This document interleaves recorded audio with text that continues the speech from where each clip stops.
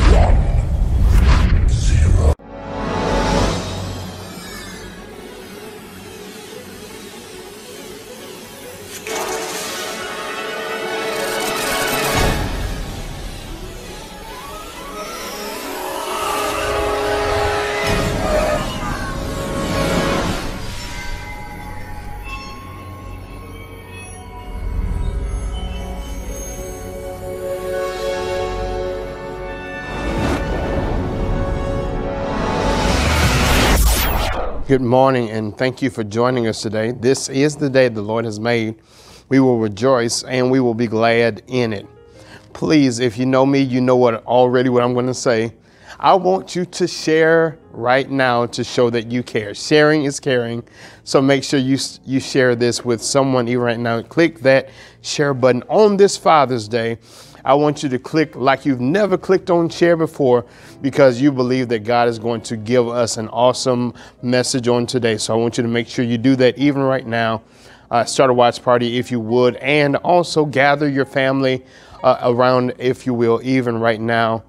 As we prepare ourselves to go before the Lord's throne of grace in prayer, I want you to know we are excited about the fact that this is Father's Day and we don't take it lightly, nor do we take it for granted. For every father, for every stepfather, for every father figure, for every person that has stood in the gap for children and raised their children the best that they could, for those who have suffered and who have worked and supported their families, this day we say thank you to all fathers. So if you would please bow your heads now as we go before the Lord in prayer. God, how we thank you for this Father's Day. Thank you, Lord, that even on a day like today, God, we can thank you because you are a good Father. God, you've been a good Father to us. But God, we also want to thank you for the gift of fatherhood. Thank you, Lord, for those fathers who have stood the test of time, those who have sacrificed to provide for their families, those who have given the best that they could, those who have done the best that they could. God, thank you for fathers even right now. Thank you for those father figures who have stepped in and filled in the gap, God, and helped to raise some children, God. Thank you for those who have tried to raise children on their own, God, for those who have seemingly struggled, God, to try to make ends meet, but did the best they could. We thank you for every father, even right now. We thank you, God, for the gift of knowing, God, if we honor our father and our mother, that our days will be long upon the earth. So, God, we take this time to give honor where honor is due, God. We pray, God, that even now, that this will be a day where they feel appreciated and celebrated even now. I pray, God, that even now, for those, oh God, who are listening under the sound of my voice, oh God, I pray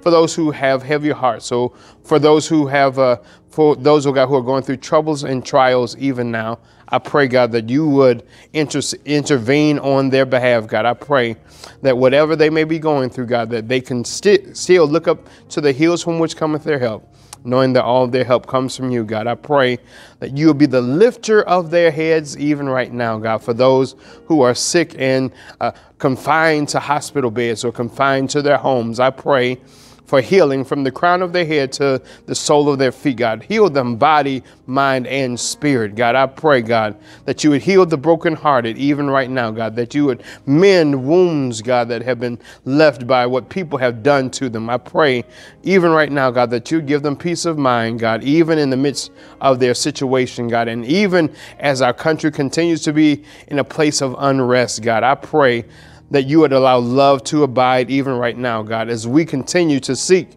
to come together on one accord. Help us, oh God, to continue to have dialogue. Help us to continue to communicate one to another. But God, we pray that you would be in the midst of all of this, oh God. And we thank you because, God, we know you're able to do anything but fail. So have your way on this worship experience, oh God. I pray that you would move from this place to their place, God. Thank you that even right now, God, you can make our living room our sanctuary, even right now, God. Thank you that our office place now is, hallowed ground, even right now, God. For we thank you that where your presence is, God, there is liberty. So, God, thank you for the freedom that you've given us to worship you in spirit and in truth, even right now. And we thank you in advance for what you're going to do. Give us a word from on high on today. And, and we praise you in Jesus' name. Amen. Listen, again, take this time to click that share button even now. Make sure you start a watch party if you can. Uh, do it right now before we get started. You do not want anybody to miss this. Also, if, if you are a father, again, we want to thank God for you. We don't take it lightly, nor do we take it for granted for all that you've done and all that you've given uh, for the sake of your family. At this time, we are uh, in a series entitled The Reentry Plan as we prepare ourselves for when we may physically be going back into uh, the church buildings. We are also wanting to uh, make sure we understand how important how we go back into the building is. And I believe that we ought to make sure that when we go back to the house of God, we ought to go back with the spirit of reverence. And so we've been taking a look through the Old Testament. The book of Exodus has shown us uh, in the construction of the, ta- the tabernacle and how in the outer gates, uh, in the outer courts, excuse me, you had uh, the brazen altar of sacrifice. And then you had the brazen laver uh, where you were to wash your hands and wash your feet before entering the inner courts. And then once you enter the inner courts, then you are uh, found, we have found that you have the golden lampstand, which represents the seven churches of Asia. Then we talked about uh, the uh, golden altar of incense, which uh, suggests that in our prayer life, we ought to make sure we we uh, go before the Lord in prayer before we seek His presence. And so today, uh, on this Father's Day, we want to go uh, to the book of Exodus again. We're going to look at Exodus chapter 25, and we're going to read verses 23 through 30. And then we're going to read Leviticus chapter 23, 24, excuse me, and we're going to read verses 5 through 8. So that's Exodus chapter 25, verses 23 through 30. And then we'll read Leviticus chapter 24, verses 4, 5 through 8. Amen? And it says these words Make a table of acacia wood, two cubits long, a cubit wide, and a cubit and a half high, and overlay it with pure gold and make a golden molding around it.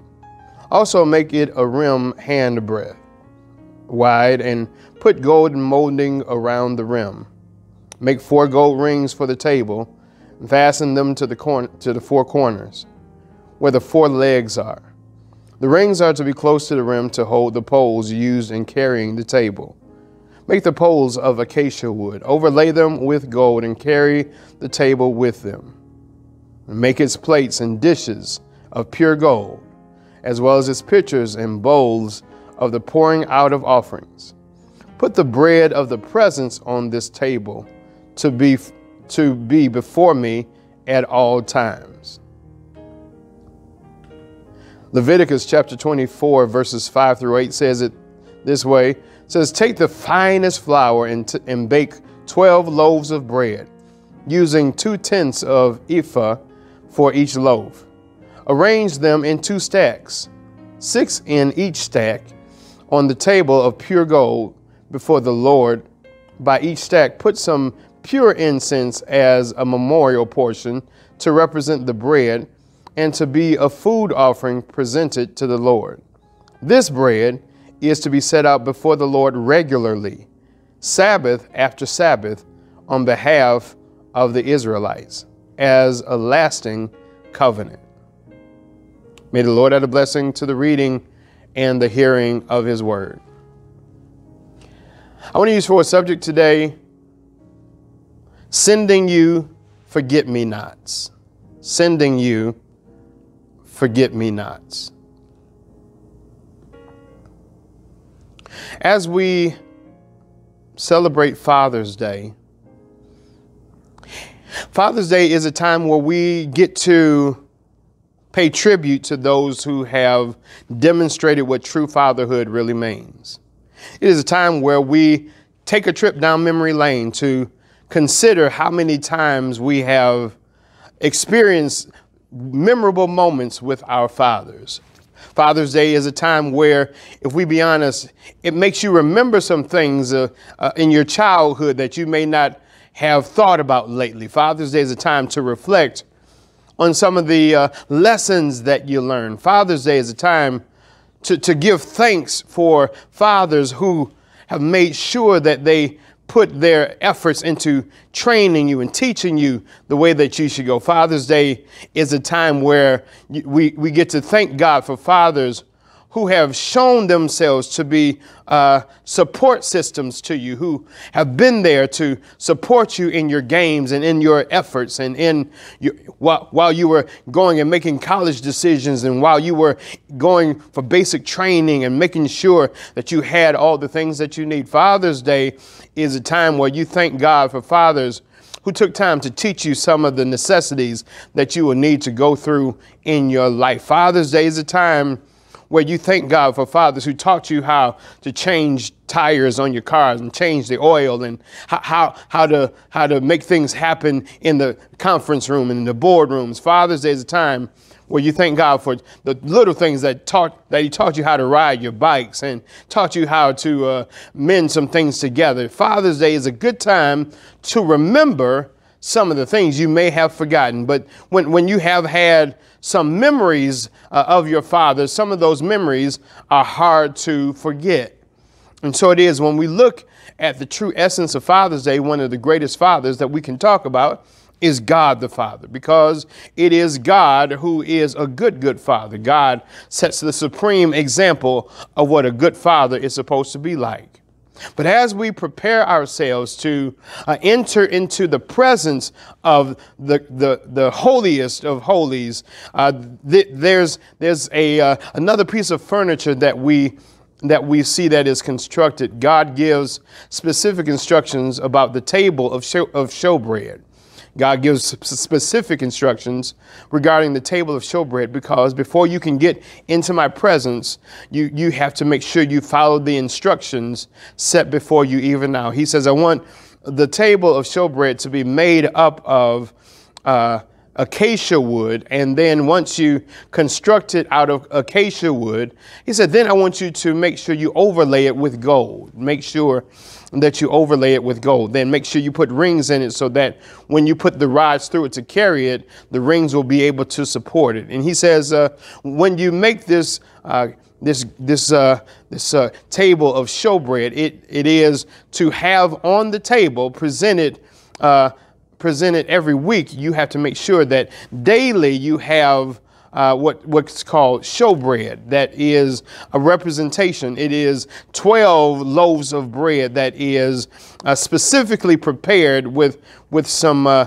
with some details and some some preparation that has to go into it in order to make sure that the bread stays fresh. Watch this all week long from Sabbath to Sabbath. The bread is supposed to be presented as a, as a reminder, here it is, of the provision that God has set before you. So the bread has to be prepared so that every week that you have fresh bread, and watch this, the bread stayed fresh for seven days from sab- Sabbath to Sabbath. It was an old family recipes that were secret recipes that only certain families had access to, but the preparation period uh, was so that they can have the bread. And he said, I want each, uh, I want on each side of it, I want you to have. Of the 12 loaves, put uh, six on one side and six on the other side. And he said, then put some incense on top of it so that uh, it can be used as a food offering. So that when you when you see the table of showbread, it shows, here it is, that you're grateful that the Lord has been your provider. And the bread is called the, the, the bread of presence. It is, it is indicative of the fact that not only has God provided, but God has been present. And so when we look at the fact that uh, God shows us through the construction of the table of showbread uh, what He intends for it to look like, let's deal with why it is important for us to have this table, uh, even in our hearts, even understanding why it is God, who is a good father, wants this table to be a representation of the fact, here it is, that if I am giving you what you need, the table of showbread is a representation that uh, this is, there's some things, watch this, that I don't want you to forget. So the table of showbread helps you to remember what the Lord has done in your life. And so as we look at the table of showbread, it, there's some things that, that, that we can draw from the table of showbread that helps us to celebrate why God is a good father and why you may have a good father. And uh, one of the first things that we see uh, that a good father does, as well as the table of showbread uh, does, it, it says that in order to understand a real good father is able to equip you with preparing life for you. Good Father is responsible for uh, preparing life for you prior to you getting here. The, a good father makes sure that there's some preparations made it says before you even get here. In order for the table of showbread to have what it needed, it, it wasn't, they didn't wait until they got to the presence of God to, to prepare it. No, they prepared it before they got into the presence. Let me explain this to you. And so a good father, if you have a good father, what a good father will do is he will prepare life for you before he, you, he gives life to you. A good father will prepare life for you before he gives life to you. What, what are you saying? Well, says the Bible says, in the beginning, God created the heavens and the earth. He said, let there be, and there was. He said, let there be light, and there light was. He says, let there be the sky and the land and the sea. And then he said, let there be birds of the air, and let there be fish of the sea. Let there be beasts of the field. He made the grass to grow. He made the trees to sway. He, he, he created the clouds and the moon and the sun after he got through creating everything, he said, Then let us make man. Y'all missed it, so here it is again. He prepared the place before he provided the people. And so it is a good father is good because he's able to prepare life for you before he gives life to you. You ought to thank God even right now that God had prepared some things for you. God has prepared some things. There's some things. Here it is. When we say God has a blessing with your name on it, what you really ought to be under, understanding is that whatever God has for you is already done. He has already prepared it. Watch this before you were born. He says, I knew you before you were even in the womb. So I had already prepared some things for you before you even got here. Tell your neighbor, that's a good father. That's a good father. We praise God for preparations. We praise God not only only for preparing life for me, but watch this. Sometimes you got to praise God that He's a good father that prepares you for life. Now, there's, there's somebody that's saying, well, what do you mean? Watch this. Not only does he prepare life for you, but he prepares you for life. How do you know? Psalm 23 says that thou prepares a table before me, here it is, in the presence of my enemies. You can't shout yet, so here, let me tell you why. A good father does not make your child naive to the fact that everybody gonna like you. A good father will not make you believe that everybody is gonna think you are the great new wonderful. A good father does not make their children uh, naive to the fact that there's a cruel world out here. And so therefore, when you enter outside of my house, then you are hit by the reality that everybody ain't gonna like you. But what a good father will do is a good father will prepare you for life Watch this. A good father says, says he says he prepares a table before me. Here it is in the presence of my enemies. In other words, here it is. You gonna eat. The father has prepared life for you so that you can eat. And so you gonna eat. But watch this. What I also want you to do is I want you to be able to eat in front of folks that don't want you to be here. I, I, want you to be able to still survive in front of folks that don't want you to be alive. I, I want to know, watch this. I, I'm going to prepare you, watch this, to sit at the table, here it is, with folks that don't even like you.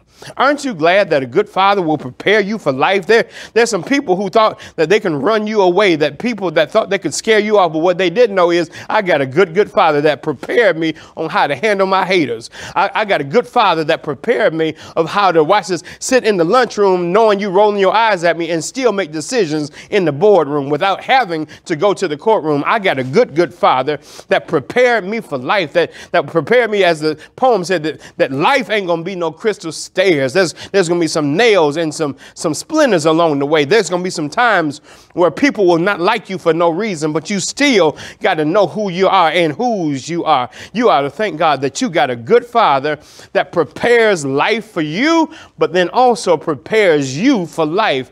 Somebody needs to hear me uh, that's watching even by way of the internet. Somebody uh, is watching that, that you've been going through some hell on your job and watch this, and they keep wondering why you haven't given up yet, but you ought to tell somebody that I was prepared for this. I, I already knew, watch this, that I was going to have some people that hate me, watch this, with, for no other reason but just for who I am. There's some people that won't like me just for the color of my skin. And if my black is offensive to you, watch me shine in front of you. Is there anybody that knows that sometimes God will prepare you for life because he prepares a table before me in the presence of my enemies. No, haters, you will not make me lose my appetite. No, you will not make me change my, my way of doing things. No, you will not make me run and play scared. I've got to make sure that I give God the best I have because he already prepared me for life. So a good father is known for preparing life for you and preparing you for life. But not only does a good father prepare you, but a good father is present for you. Listen to this.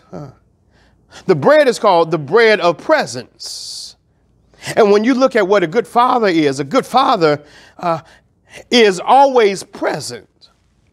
And aren't you glad that you may have a father that if you can't think of nothing else, you can think about the fact he was there for whatever he, you needed him to be there for. He was always there. He was there for your basketball games. He was there to see you off for college. He was there when you were in your lowest point. He was there. Watch this. Even if it was just to watch TV with him, he, he was there to help you with your hair when your mother couldn't do it. He was there to help you with your car when nobody was able to fix it for you. He was there to watch this, singing songs and singing uh, hymns to help you along the way. He was there, and you are to praise God that a good father is present. You got to praise God for his presence. And, and what you got to understand is a good father may not always have presence, but he also knows that he is to be present. I, am going to say it again. Here it is. You, you may not have the present, you may not have gifts present, but you got to know that your presence is a gift. A good father knows that he, he, he's got to be there when you need him the most, a shoulder to cry on, a, a, a ear to listen to. Is there anybody that can praise God that you had a father that was present? David says, uh, where, where shall I go that you're not there? God, you, you are omnipresent. If I make my bed in hell, you're there. If, if, I, if, I, if I have two wings as a dove, God, and fly away, you're still there. Is there anybody that can praise God that God has been there all the time, no matter if you find find yourself in a fiery furnace, God is there. If you find yourself in the lion's den, God is present. If, if you find yourself in life and trying to find out where God is, you ought to know that God is everywhere at the same time. You ought to praise God that He walks with me and He talks with me and He tells me that I am His own. You ought to shout, Thank God for His presence in my life. A good father prepares and a good father is present in your life. You got to thank God for his presence even right now. But not only do we thank God that a good father prepares, and not only do we thank God that a good father is present, but then here it is a good father provides. Uh, the reason we have the table of showbread is to suggest that we, we take note and we remember God has given you some forget me nots to help you to remember that the Lord provides. Somehow to type that even right now, that the Lord provides. Thank God that He is Jehovah Jireh. He is the Lord, my provider. But God also gave you a father physically on earth that is a provider. He, he gave you somebody that understood the, the, the, the work ethic uh, that you had to have in order to make ends meet. He gave you a good, good father that was able to do the best he can to provide for his family. And is there anybody that's grateful for having a father that was a provider? Yes. I, I know that, that the Bible says uh, that, that if you want to know what a provider looks like, Jesus says, uh, what, what I want you to do, and, and he's in, uh, I'm in Matthew chapter 6, verse 11. He says, uh, and give us this day, here it is, our daily bread.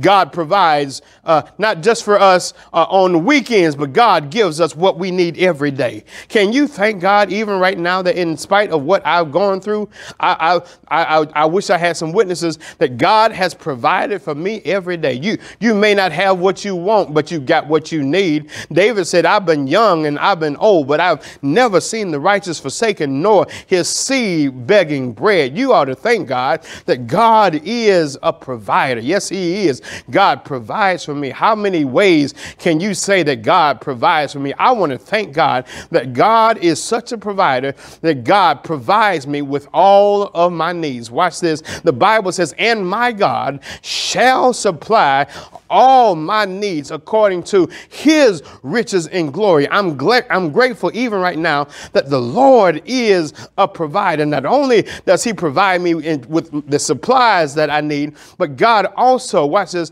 supplies me with rest in green pastures. Watch what, watch what the Bible says. He makes me lie down in green pastures. He, he restores my soul. He leadeth me beside still water. Is there anybody knows that a good father will provide you with a place of rest?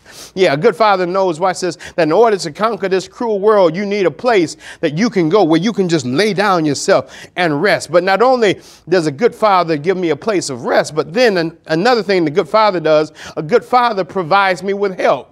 Listen to the Bible. He says, I will lift up mine eyes to the hills from which cometh my help and recognize that all my help comes from the Lord. Is there anybody knows that every now and then you ought to thank God that God has been a very present help in your time of trouble. That's what a good father looks like, is able to provide help when I need them the most. When I'm down to nothing, I can look up to the hills from which cometh my help, knowing that all my help comes from the Lord. But not only does God provide help, but listen to this, God provides grace that's, that's, that's, that abounds. He says, I, I want you to know that I'm going to give you grace, all grace that abounds. I'm going to give you so much grace that you can't even contain it. Is there anybody that's grateful that the Father provides us with grace? What is grace? God's unmerited favor. That's why you can walk around like you blessed and highly favored. Because watch this, the Lord gives me grace. That's why I'm blessed in the city. I am blessed in the field. I'm blessed going in and I'm blessed coming out. Somebody praise God that your Father provides you with grace that abounds. But not only does He give me grace that abounds, He gives me peace that surpasses. I'm on a roll today. You ought to praise God that the Father provides you with peace that surpasses all understanding. That's why when all hell and high water is breaking all around you, you can thank God that God gives you peace that surpasses all understanding. God gives you peace in the midst of storm. No matter how the storms of life are raging, God can give you peace. That's how you can keep your mind while everybody else is losing theirs because God gives me peace. But not only does the Father provide me grace that abounds and peace that surpasses, but God gives me joy that's unspeakable. Is there anybody in the house that's watching from your house that can praise God that this joy that I have, yes, the world didn't give it and the world can't take it away. You ought to praise God that I've got joy, unspeakable joy. God gives me joy. Where did you get the joy from? Because there's some times where you may experience some sadness, and there's some times where I might not have happiness. But is there anybody that knows I got some joy down in my soul? And this joy that I have, the world didn't give it, and the world can't take it away. But not only does He give me grace that abounds, and peace that surpasses, and joy that's unspeakable, but He gives me love that's unconditional. Somebody ought to praise God that the Father provides you with love that's unconditional. There are some people who say they love you, but their love is conditional. It is based on the fact that you can do something for them. There are some people who say they love you based on what you are able to uh, give them. There are some people who are able to say they love you, watch this, but then when you mess up, they don't love you no more. But aren't you glad that God's love that He provides is unconditional? You ought to thank God, even right now, that God loves you no matter how raggedy you are. God loves you no matter how much wrong you've done. God loves you just the way you are. Are, and he gives you love that's unconditional. Here it is.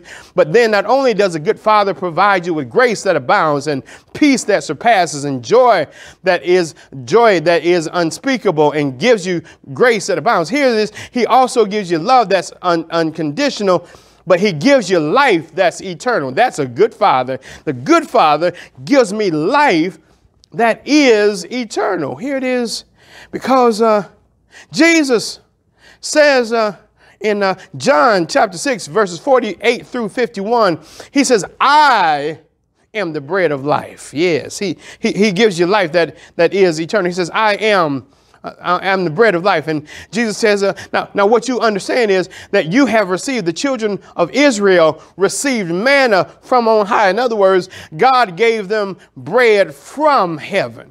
Yeah, he gave them bread that came from heaven and, and that, that, that allowed them to survive, but they still died. He says, But what I want you to know is that I am the bread of life. Not only am I the bread of life, but I'm the bread of heaven. He says, God gave you bread from heaven. That was physical needs. But God says, But Jesus says, But I am the bread of heaven. And there ought to be some, some old folks, I can hear some old, uh, some old fathers that used to sing the song that says, Bread of heaven, bread of heaven, feed feed me till I won't no more. Somebody to praise God that you you got a good, good father that provides you with life eternal. He he gives you bread. And watch this. And he said, anyone that eats of this bread, uh, he shall never die. And, and listen to this. You ought to thank God that even right now, that while it is we are celebrating the good, good Father that He is, that because His love is unconditional, God loved us so much that He gave His only begotten Son, that whosoever believeth on Him won't perish, but have everlasting life. It is, it is for this reason that Jesus, as he is realizing that his time on earth is about to uh, become, uh, come to an end, Jesus gathers the disciples for what we consider to be the Last Supper. And I, I want you, even right now, as you are listening to me, I want you to gather a cracker or a piece of bread or something and get some juice. And I want you to get some coffee, whatever you need to drink, some water, whatever you need, because I want you now that you start to understand how important this bread is. Because if Jesus is the bread of life, he, he, he gathers them uh, together so that they can have the Lord's Supper. And it is the Last Supper, but it is also the Lord's Supper. So I want us, even right now, to pause for station identification because now is a good time to explain to you how, how, how incredibly uh, uh, uh, important this moment is because Jesus gathers him. He says, uh, One of you is going to betray me. I already know that, but, but here it is. While I have you gathered here, it's time for us to break bread together. And Jesus, uh, the Bible says, Jesus took the bread and he uh, broke it in half. And when he had given thanks, Jesus took the bread. Yeah, he, he took the bread and uh, he, he gave God praise for the bread. Y'all, y'all missed it. Here it is again. It says that Jesus uh, took the bread, and after he had given, he gave thanks for the bread. He gave thanks for the bread because what he says is, This bread is my body. Here it is, which was broken for you. I, I, wish I could get some witnesses that, that can thank God for this bread. This, this bread uh, is, is my body, which is broken for you. And I want you to take this and eat it. Watch this. And as often as you eat it. Now, here's your shout because now we have resorted to only taking communion once a month as if that is enough. But watch this. He says, But I want you to take it and eat it. And as often as you do it, here it is, you do it in remembrance of me. Y'all missed it. Here it is again. Jesus said, I'm going to give you some forget me nots to help you to remember. Every time you eat this bread, every time you break bread, every time you look at a loaf of bread, it ought to remind you of what I did for you. It ought to remind you of how I prepared you. It was present with you. It ought to remind you of how I provided for you. Y'all missed it. Here it is again. Jesus prepared the people for a coming, for a coming Lord. He prepared the people for what God, for the kingdom that was coming, the kingdom that was at hand. He prepared the people for his departure. He prepared the people for the Holy Spirit. Then he was present with the people. He was present with the woman with the issue of blood. He was present with the lame man. He was present with with, with those who uh, came who were sick and lame and halt. He was present with the disciples. He was present with Peter as he walked on water. But he says, But now I want you to know that what I'm about to provide is my life. And so I want you to have these forget me nots to help you to remember. As often as you eat this bread, watch this, you do so in remembrance of me. I don't want you to just remember me on Father's Day. Don't, don't just remember me when it's convenient for you. He says, but, but as often, however many times you want to remember, every time you think about me, you, you ought to remember the, the things that I did for you, how I provided for you, how I was present with you, and how I prepared you. And Jesus took the bread and they took it and they ate it. He said, This cup is the New Testament of my blood. This do ye as often as ye drink it in remembrance of me. For as often as you eat this bread and drink this cup, you do so the Lord's death till he comes. And I'm encouraging somebody right now who can testify that God has been a good father. And, and, and the table of showbread is simply to remind you, watch this, that, that for, for the 12 loaves that were there, which represents the 12 tribes of, Judah, of, of Israel, not only was God present for those 12 families, but God's been present for you and your family. You ought to testify that if it had not been for the Lord who was yet on my side, I don't know where I would be. And so today I want to make sure that we don't take for granted that everybody doesn't have a relationship with their father. Everybody doesn't have a relationship, here it is, with their physical father, but everybody doesn't have a relationship with their spiritual father. And so, even right now, as I extend the invitation of discipleship, I want to offer you the opportunity to connect with your Father again. I, I, want you to take this moment to, to connect with a God that prepared you for life, that, that, watch this, that was present in your life the whole time and who provided all you needed. I want you to take this moment to thank God that even right now, God, thank you that You've always been there for me. When did you get there? You were there all the time. If you don't have a relationship with this good, good Father named, named God, I, I want you now to just simply say this prayer. Say, Lord Jesus, come into my heart. I confess that I'm a sinner that needs to be saved by you. I believe that you died on the cross for my sins. I believe that you rose on the third day so that I could have eternal life. I'm, I'm, I'm, I'm accepting you as my Lord and my Savior. Come into my life, change my heart, and I'll never be the same. In Jesus' name, amen. If you prayed this prayer, I want you to know that the Lord is available to you even right now. And I, I'm praying that God would allow you to unite with a church family where you can be fed, watch this, the bread of heaven. You, you got to praise God even right now that God has given you life and that more abundantly even right now. And so it is the table of showbread was an act to give to the giver. Table of showbread was an act of giving to the giver. And what, what you're giving is you recognize that God provided you with daily bread. And so that the families were able to then give God daily bread.